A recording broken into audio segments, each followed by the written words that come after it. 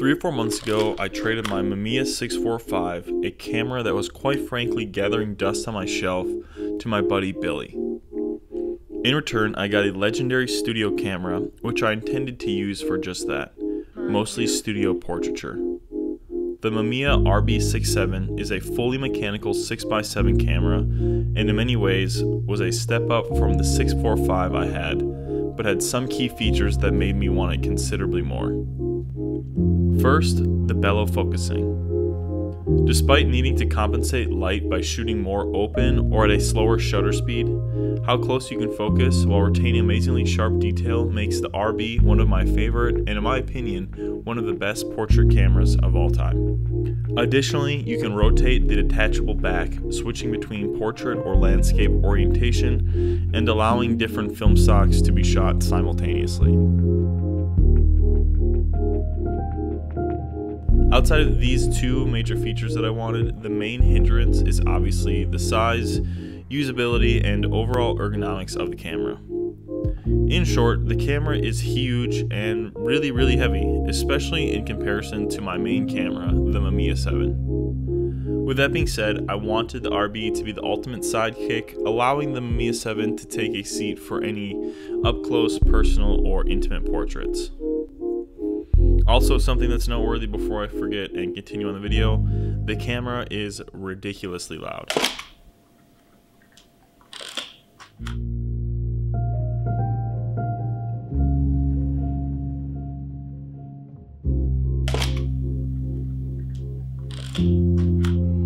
At first use, hand holding the camera seemed very obtuse and heavy, but after shooting through a handful of rolls, I've gotten a much better grip on the camera. I also think I have the most favorable accessories slash viewfinder to keep it more accessible to handheld photos. The waist level viewfinder keeps the camera compact and allows a fairly unique vantage point for portraits.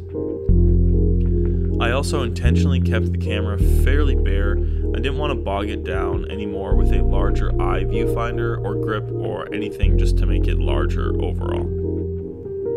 Despite it being a camera that mostly will sit in our studio, I still want to keep it as lightweight and usable as possible for traveling or other day hiking trips.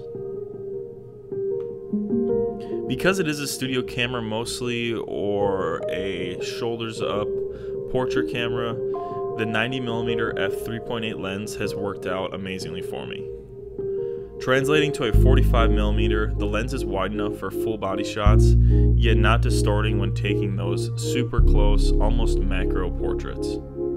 Regardless if it's entirely a studio camera that lives on a tripod or your main traveling camera, some of my best portrait photos have come from this camera. The slow workflow in combination with the lens sharpness, negative size, and overall control make for a great overall experience with the user.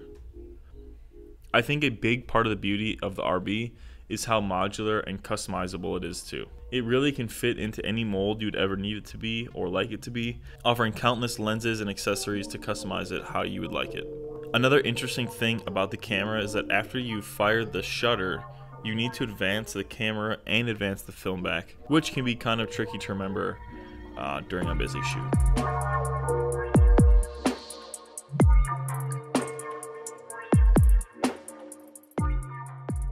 Okay, another thing I think I should touch base on that I don't really have in my script here is the difference between the RB and the RZ.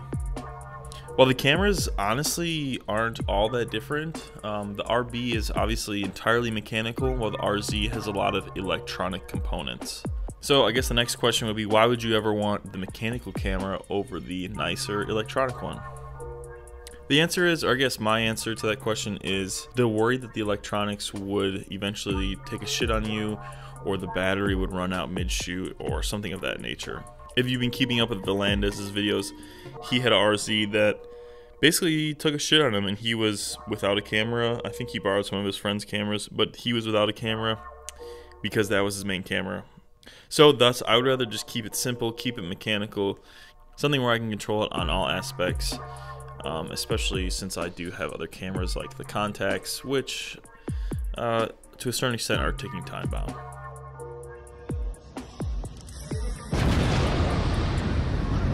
Regardless if you choose the RB or the RZ, I think both are top tier medium format portrait cameras offering the largest 6x7 negative size, great lens selection, and a really nice workflow despite the heavy size. Overall, I think the RB specifically is the perfect camera for me and a perfect camera for a sidekick to the Mamiya 7, offering a much much closer focus distance while not compromising negative size. Despite being large and heavy, the camera comes in at a great price point for someone wanting a fully mechanical or entry level medium format 6x7 camera. The ability to focus incredibly close due to the bellow focusing and the rotating interchangeable backs make the workflow of the camera truly one of a kind.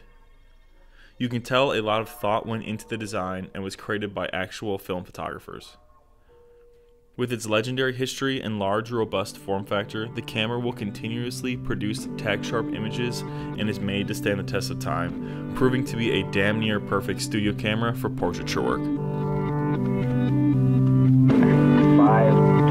524-223-588. Telephone 876-0930. 77221 432-168. 48572. 7534-218. 4218